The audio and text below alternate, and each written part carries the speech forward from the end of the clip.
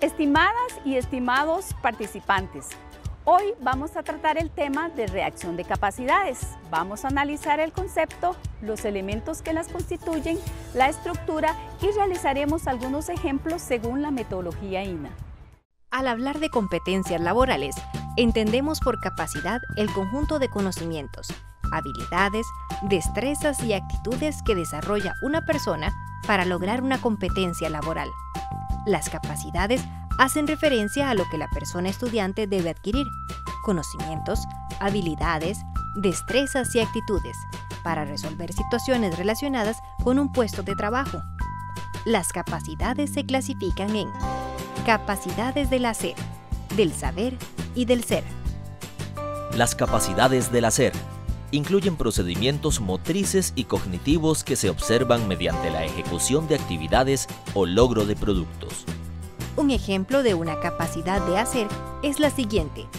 Reparar el abanico de un motor eléctrico de acuerdo con el manual del fabricante. Las capacidades del saber incluyen los conocimientos que debe poseer la persona, teorías, definiciones, características, estructuras, hechos, principios, recetas y procedimientos. He aquí un ejemplo de una capacidad del saber. Explicar el procedimiento para la elaboración de abono orgánico mediante el método de compostaje Takakura. Las capacidades del ser se refieren a las actitudes y valores que desarrolla la persona para completar su competencia de forma integral. Ejemplo de una capacidad del ser colaborar en las actividades de aseo y limpieza del laboratorio de metalurgia mediante el trabajo en equipo. Para redactar capacidades hay que tener en consideración cuatro elementos, el sujeto, la conducta, el objeto o contenido y la condición. ¿Quién es el sujeto? Es la persona que logrará el cambio de conducta, es decir, la persona estudiante. La capacidad se redacta en función de la persona estudiante y no de la persona docente. Generalmente se redacta así. La persona estudiante estará en capacidad de... El segundo elemento es la conducta. ¿Qué conducta debe lograr la persona participante? Para que la persona participante se considere competente, tiene que demostrar que es capaz de realizar una labor. Generalmente es lo que llamamos cambio de conducta. La conducta se expresa con un verbo en infinitivo. Por ejemplo, identificar, componer, construir. El tercer elemento es el objeto o contenido. Nos referimos a los ejes temáticos, contenidos o temas que la persona participante aprenderá para lograr la capacidad. Por ejemplo, los motores eléctricos, la soldadura eléctrica. El cuarto elemento se refiere a la condición. Esta hace alusión al cómo se va a realizar la actividad solicitada.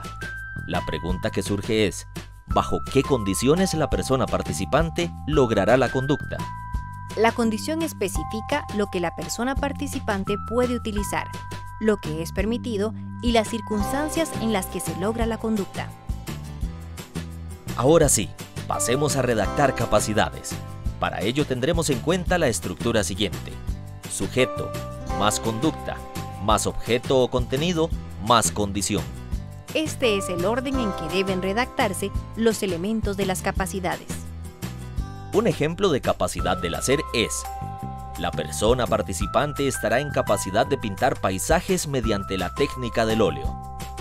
¿Cuál es el sujeto? La persona participante estará en capacidad de. ¿Cuál es la conducta? Pintar. ¿Cuál es el objeto o contenido?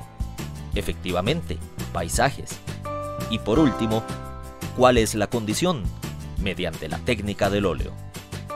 Como se puede apreciar, esta capacidad contiene los cuatro elementos y sigue la estructura establecida. Ahora veremos un ejemplo de capacidad del saber. La persona participante estará en capacidad de explicar el procedimiento para la siembra de lechuga mediante la técnica hidropónica. Como vimos en el ejemplo anterior, el sujeto es la persona participante estará en capacidad de.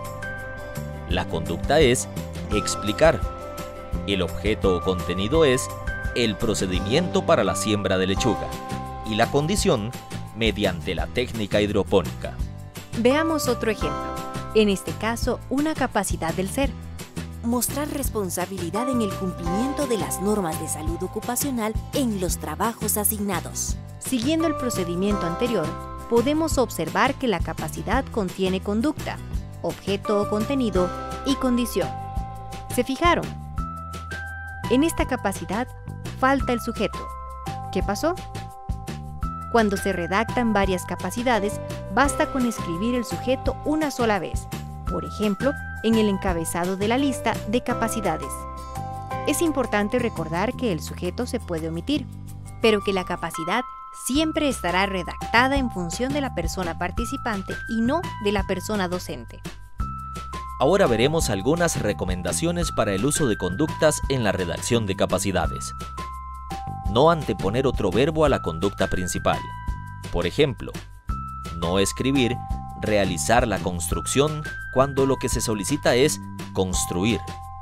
Otro ejemplo es aplicar la soldadura, cuando en realidad lo que se quiere es soldar.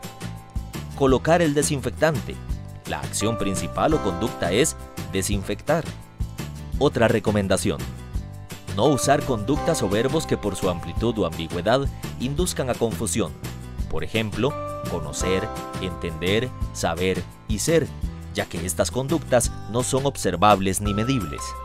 El redactar capacidades siguiendo los elementos y la estructura propuesta proporciona una serie de ventajas, tanto para la persona docente como para la persona participante.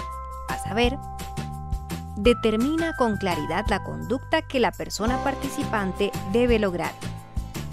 Permite redactar los elementos del planeamiento didáctico, los ejes temáticos, técnicas, estrategia, recursos didácticos y duración contiene características indispensables para la evaluación. Permite a la persona participante maximizar los recursos disponibles. De esta forma, hemos llegado al final de este recorrido en el cual nos propusimos la redacción de capacidades por competencias laborales. Hemos analizado el concepto, los elementos que constituyen una capacidad, su estructura y hemos realizado varios ejemplos de acuerdo con la normativa INA.